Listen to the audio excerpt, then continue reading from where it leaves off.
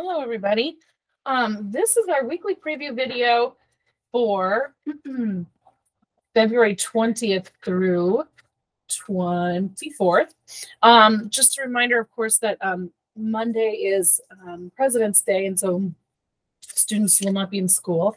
Um, and on Tuesday and Wednesday, students are actually going to finish up their um, really short informational unit we've been doing, um, informational text, uh, which is kind of serving as a bridge between our argumentative writing unit and the research unit, which we're going to start later next week.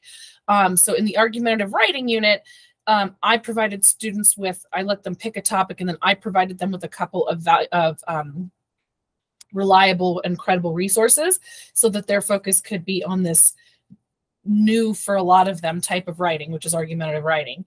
Um, but as they go into the research unit, they're going to be doing their own research. And so we are um, in this short informational unit, which we've been doing this week and we'll finish up in the middle of next week.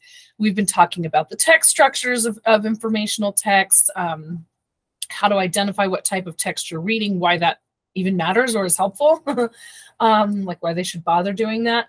And um, now we're uh, kind of moving into credible sources. So your students next week will be creating a very, very small slide deck presentation that they will just send in to me. They don't have to get up and present it um, on what are their thoughts. Are UFOs extraterrestrials? It's just kind of a, a fun topic.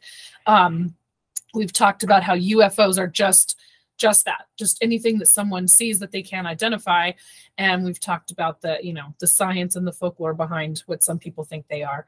Um, and um, excuse me.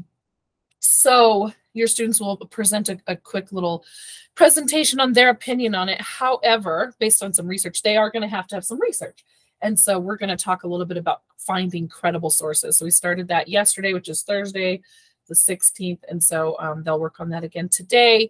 Um, and then next week, they'll have a little bit of time to do some research and put together a little presentation. Pretty low stress. Um, and it should be able to be all done in class. If your student's absent, though, of course, they'll need to make that up at home.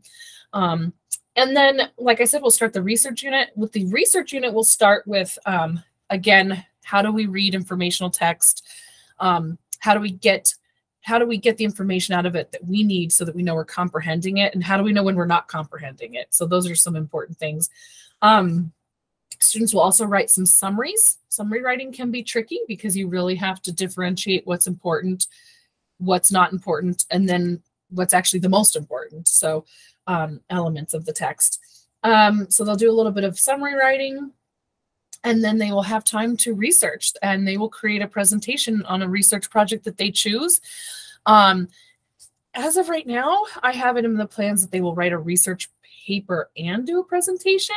Um, but i might just have them do the presentation which will of course have written elements. So i'm still debating on that but that unit will go through spring through uh, conferences. So that'll be a couple weeks away. Um, yeah. All right um, remember, 135 minutes of Membean due by February 26th, which is not this Sunday, but I think maybe next Sunday. And um, yeah, I think that's it. Thanks so much.